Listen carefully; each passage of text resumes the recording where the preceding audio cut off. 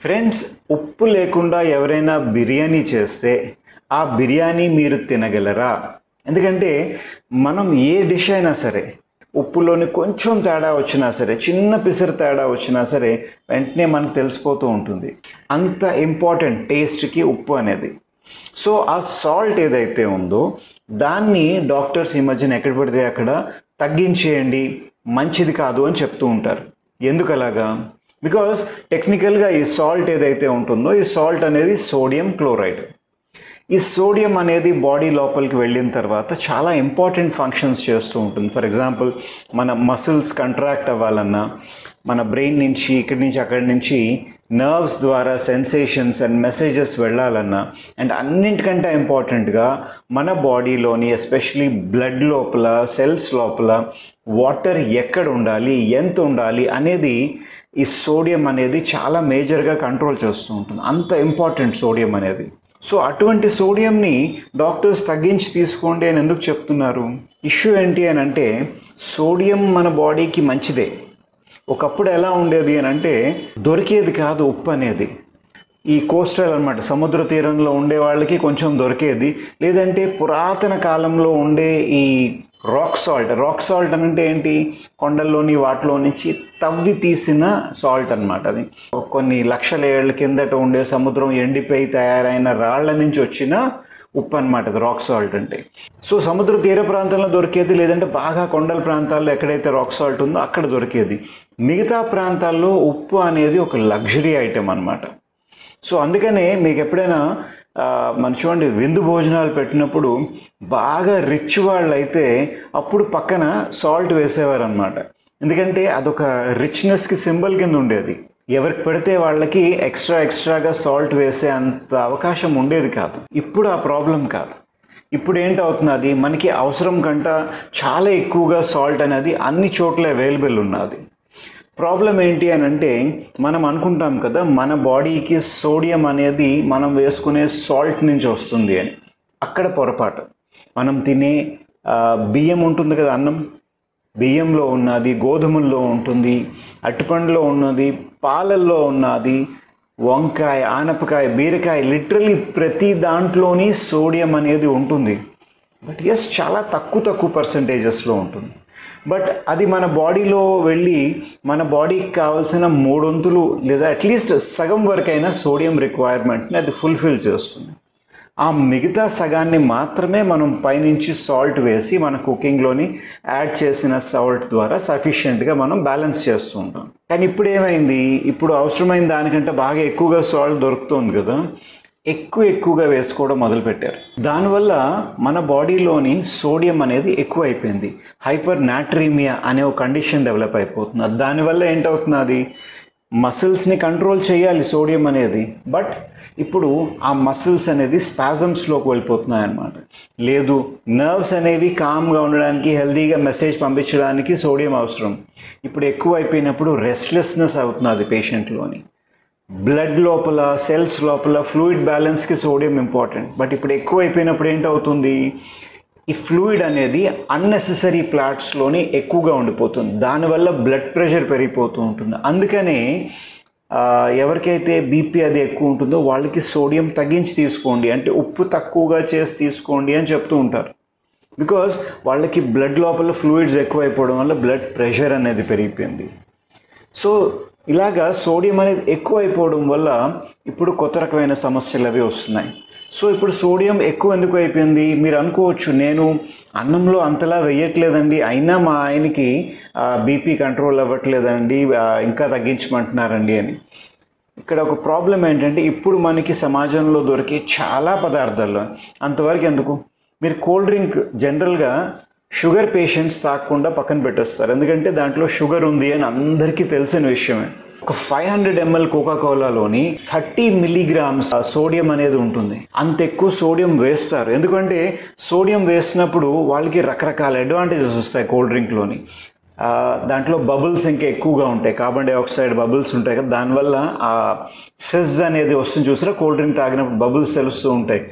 దానివల్ల వస్తుంది. ఆ కూల్ డ్రింక్ టేస్ట్ ఇంప్రూవ్ చేస్తుంది అని అన్నిటికంటే ఇంపార్టెంట్. సోడియం మనకి ఎక్కువగా ఉన్నప్పుడు దాహం ఎక్కువ వేస్తుంది ఎప్పుడైనా సరే. సో మీరు కూల్ డ్రింక్ తాగిన తర్వాత జనరలీ దాహం తీరదు.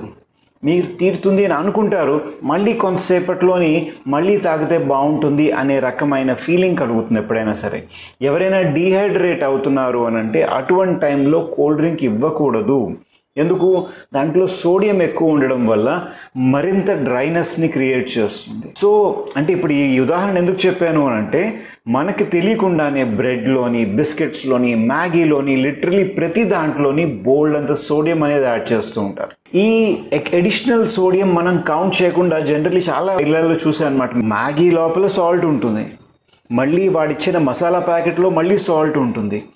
పైనుంచి మరింత సాల్ట్ ఆ ఇంట్లో మహిళ అనేది వేస్తూ ఉంటారు. ఎందుకు అని అంటే లేదండి ఆ టేస్ట్ సరిపోవట్లేదు అని చెప్పి. ఇంత ఎక్కువ ఎక్కువగా సాల్ట్ అనేది అంటే సోడియం అనేది బాడీ లోపలికి వెళ్ళడం వల్ల రకరకాల కంప్లైంట్స్ వచ్చేస్తున్నాయి. సో ఇక్కడ చాలామందికి వెంటనే అనమాట సాల్ట్ మరి ఎక్కువ తీసుకోవద్దు అని చెప్తే డౌట్ అడుగుతారు సార్ ఇప్పుడు మనకి మార్కెట్లో రకరకాల సాల్ట్స్ దొరుకుతున్నాయి కదా మేము ఏది వాడాలి అని చెప్పి. నిజం చెప్తున్నాను పెద్ద డిఫరెన్స్ ఏది ఉండదు. మీరు ఏ సాల్ట్ వాడినా సరే పెద్ద మేజర్ డిఫరెన్స్ అనేది లేదు. ఇప్పుడు మన ఇండియాలో మనకి దొరికే ఉప్పు ఏదైతే ఉంటుందో అది ఆల్మోస్ట్ నైంటీ ఫైవ్ పర్సెంట్ సముద్రపు ఉప్పు నుంచే వస్తుంది. దాన్నే వాళ్ళు మళ్ళీ దాన్ని పౌడర్ చేసి ప్రాసెస్ చేసి మనకి ప్యాకెట్స్లో అమ్ముతూ ఉంటారు. ఎందుకంటే ఆ రన్ ఆఫ్ కచ్ గుజరాత్లో ఉన్నది మన ఆంధ్రాలోని రకరకాల ప్లేసెస్లో ఎక్కడైతే సముద్రం ఉంటుందో సాల్ట్ తయారీ అనేది జరుగుతూనే ఉంటుంది. ఇది కాకుండా ఈ మనం ఇందాక చెప్పుకున్న రాక్ సాల్ట్ ఉంది చూసారా? ఆ రాక్ సాల్ట్ అనేది వేరే. చాలామంది కన్ఫ్యూజ్ అవుతుంటారు మరి గెడ్డల ఉప్పు ఉన్నది చూసారా? దాన్ని రాక్ సాల్ట్ అనుకుంటారు. గెడ్డల ఉప్పు అనేది రాక్ సాల్ట్ కాదు. ఎందుకంటే గెడ్డల ఉప్పు సముద్రం నుంచి తీసిన సాల్ట్ ఏదైతే ఉంటుందో అది క్రిస్టల్స్ కిందే ఫార్మ్ అవుతుంది. కింద నేలపైన దాన్ని పెద్దగా ప్రాసెస్ చేయకుండా అమ్మేస్తే మనకి అది వేరే. అది రాక్ సాల్ట్ కాదు. సో ఇది కాకుండా హిమాలయన్ సాల్ట్ అని పింక్ సాల్ట్ అని బ్లాక్ సాల్ట్ అని దగ్గర దగ్గర పన్నెండు పద్నాలుగు వెరైటీస్ ఆఫ్ సాల్ట్ ఈరోజు మార్కెట్లో అవైలబుల్ ఉన్నాయి. ఎస్ పింక్ సాల్ట్ అని అన్నప్పుడు దాంట్లోని ఒక చిన్న పర్సంటేజ్ ఆఫ్ ఐరన్ కంటెంట్ ఉంటుంది దాంట్లోని. బట్ మీరు వేసుకునే ఆ చిన్న పిసరు సాల్ట్లోని దాంట్లో ఉండే చిన్న పిసరు ఐరన్ వల్ల మీకు అంత పెద్ద డిఫరెన్స్ అనేది రాదు. సో మీరు ఆ పింక్ సాల్ట్ని ఎప్పుడు వాడాలి? మీకు ఐరన్కి మరి ఇంకెక్కడా దగ్గర నుంచి ఇంకేమీ సోర్సెస్ లేవు. అది తప్ప మీకు ఏమీ లేదు అని అంటే ఎస్ ప్లీజ్ యూజ్ కానీ మీరు ఒక ఖర్జూరం తిన్నా మన ఆకుకూరలు ఏవైనా తిన్నా లేదంటే ములగాకు ఏవైతే ఉంటుందో వీటన్నిటిలోని different different sources of irons and vitamins ఉన్నాయి. మీరు సాల్ట్ మీద డిపెండ్ అవ్వాల్సినంత అవసరం లేదు. సో ఇక్కడ ఇష్యూ ఏంటి అని అంటే ఒకటి ఫ్యాడ్ అండి. అంటే ఫ్యాషన్ అనమాట నేను పింక్ సాల్ట్ వాడుతున్నానని గొప్పగా చెప్పుకోవడానికి. ఇప్పుడు సముద్రపు ఉప్పులో కూడాను బ్లాక్ సీ సాల్ట్ అని అమ్ముతున్నారు మార్కెట్లోని. ఇప్పుడు అలాంటప్పుడు వాడెవడో బ్లాక్ సీ సాల్ట్ అని అమ్ముతున్నప్పుడు మనం బే ఆఫ్ బెంగాల్ సాల్ట్ అని కూడా అమ్ముకోవచ్చు. మనం ఇంట్లో వాడేది అదే. బట్ దాన్ని ప్యాకేజింగ్ మార్చేసి అదేదో స్పెషల్ అని చెప్పి మనకి అమ్ముతూ ఉంటారు. మనం దాన్ని నమ్మి మోసపోకూడదు. Salt is salt. మీరు ఇంట్లో టాటా సాల్ట్ వాడినా సరే లేదంటే మరి ఇంకేదైనా కంపెనీ సాల్ట్ వాడినా అది బాగా అదే సముద్రపు ఉప్పుని ఫైన్గా గ్రౌండ్ చేసి మనకు అమ్ముతూ ఉంటారు. సో ఇక్కడ ఒక అపోహ చాలామందికి ఉంటుంది. సార్ ఇప్పుడు ఈ టాటా సాల్ట్ ఈ ప్యాకెట్స్లో వచ్చిన సాల్ట్ ఏదైతే ఉంటుందో అది అంటుకోకుండా ఫ్రీగా వెళ్ళిపోతూ ఉంటుంది. దాంట్లోని రకరకాలు కెమికల్స్ యాడ్ చేస్తారు అని చెప్పి. ఎస్ కాస్త కెమికల్స్ అనేవి దాంట్లో యాడ్ చేస్తుంటారు ఆ- ఆ ప్రాసెస్ ఆఫ్ బ్లీచింగ్లోని వాటిలోని. అండ్ చాలా కామన్గా ఏంటంటే అది గడ్డలు గడ్డలుగా అయిపోకుండా ఎందుకంటే ఉప్పును బయటను పెట్టారంటే వెంటనే స్టిక్కీగా అయిపోతుంది ఎందుకంటే హైగ్రోస్కోపిక్ నేచర్ ఉంటుంది. అలా అవ్వకుండా ఉండడానికి దాంట్లో పొటాషియం ఫెరోసైనైడ్ అని దాంట్లోని ఒక యాంటీ కేకింగ్ ఏజెంట్ని యాడ్ చేస్తారు. మధ్యలో గట్టిగా ఒక ఒక అపోహ అనేది నడిచిందనమాట. దాంట్లో సైనైడ్ యాడ్ చేస్తున్నారు. ఇది ఒంటికి మంచిది కాదు బ్లడ్ని పాడు చేస్తుంది అని. టోటలీ అబద్ధం. ఎందుకంటే ఈ పొటాషియం ఫెర్రోసైనైడ్ మనం మామూలుగా అనుకునే ఆ పాయిజనస్ సైనైడ్కి చాలా తేడా ఉంటుంది. ఎటువంటి ఇబ్బంది లేదు. మీకు ఏది ఈజీగా దొరుకుతుంది ఏది క్లీన్గా దొరుకుతుంది అది వాడండి.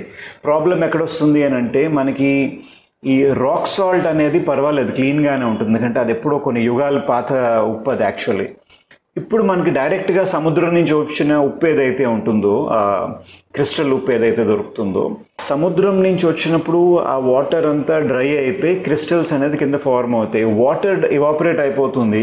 ఇంప్యూరిటీస్ ఏవైతే ఉంటాయో పొల్యూటెంట్స్ మైక్రోప్లాస్టిక్ ఇవన్నీ కూడా ఆ సాల్ట్లో మిక్స్ అవుతాయి. దాన్ని మనం డైరెక్ట్గా ప్రాసెస్ చేయకుండా మనం తీసుకున్నప్పుడు ఆ పొల్యూషన్ అంతా మన బాడీ లోపలికి కూడా వెళ్ళే అవకాశం ఉంటుంది. సో ఇట్ ఈస్ బెటర్ మనకి ప్యాకెట్లో వచ్చిన ఉప్పు వాడచ్చు. లేదు మీరు ఎఫర్ట్ చేయగలరు అని అనుకుంటే రాక్ సాల్ట్ వాడండి. తప్పు లేదు. బట్ ఈ రాక్ సాల్ట్ పేరిట చాలామంది మోసం ఎక్కువగా అమ్మేస్తున్నారనమాట సేమ్ నార్మల్ సాల్ట్ని వాళ్ళు వేరే ప్రాసెసింగ్లో పెట్టి మళ్ళీ క్రిస్టలైజ్ చేసి రాక్ సాల్ట్ అనే పేరు మీద అమ్ముతున్నారు. లేదా నార్మల్ సాల్ట్కి కొంచెం కలర్ ఎడిటివ్స్ యాడ్ చేసి దాంట్లోని పింక్ సాల్ట్ అని చెప్పి అమ్ముతున్నారు. సో కంపెనీని తెలుసుకుని ట్రస్ట్ ప్రతి కంపెనీ నుంచి మీరు తీసుకోండి. మరీ ఎక్కువగా ఎక్స్పెన్సివ్ ఎక్స్పెన్సివ్ సాల్ట్ వాడితే అది ఏదైనా సెపరేట్ టేస్ట్ వచ్చేస్తుంది అని మాత్రం డెఫినెట్లీ కాదు. ఉప్పు ఒంటికి మంచిదే. ఈవెన్ జంతువులు కూడా ఉప్పుని తింటూ ఉంటాయి. సో సాల్ట్ అనేది it's an important thing sodium మన బాడీకి చాలా ఇంపార్టెంట్ బట్ అతి సర్వత్ర వర్జయత్. మరీ తక్కువగా అయిపోకూడదు మరీ ఎక్కువగా అయిపోకూడదు. ఎందుకంటే కొందరు భయంతోని అసలు సాల్ట్ లేకుండా తినేస్తున్నారు. అంత ఎక్స్ట్రీమ్ స్టెప్కి వెళ్ళవలసిన అవసరం లేదు సాల్ట్ బాడీకి అవసరం కూడా సో ఈ టాపిక్ పైన మీకు ఏదైనా డౌట్ ఉంది ఏంటంటే కిందన కమెంట్ చేయండి. నా పేరు డాక్టర్ సురేష్ సోమయాజుల. సర్వేజన సుఖినో భవంతు.